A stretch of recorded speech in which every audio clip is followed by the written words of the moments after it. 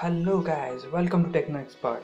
In this video, I will tell you how to log out from multiple accounts by simply just visiting a website. So let's get started. Before that, I would like to tell you that we have introduced a new feature called Techno Tip. So we will be providing you with a technology tip that you can use in your day-to-day -day life and which will make you a super user. Well, logging out of your account when you are done using a computer other than your own is the just good security measure. If you have multiple accounts, then this thing can turn out to be more difficult.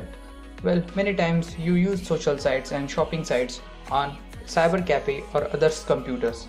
So it's always a tedious task to know that which sites you have logged in or which you don't. By this simple trick, you can just simply log out of from that accounts and you don't have to worry about it. Super Logout is the website which will help you super logout from more than 30 services at once. Well, before you visit Super Logout, let me warn you that once you visit this website, it will instantly log you out from almost all your online account. It doesn't need any click button like click to log out. Only visiting the site will make you log out of almost all the major online services. So to log out from virtually all of your online account, visit this site and you will see the site will display major services like Amazon, Google, Netflix, Steam, Tumblr, YouTube and much more and it will show a green OK next to each of the services.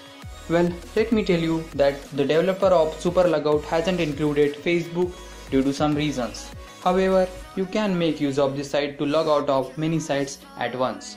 Time for Technotip.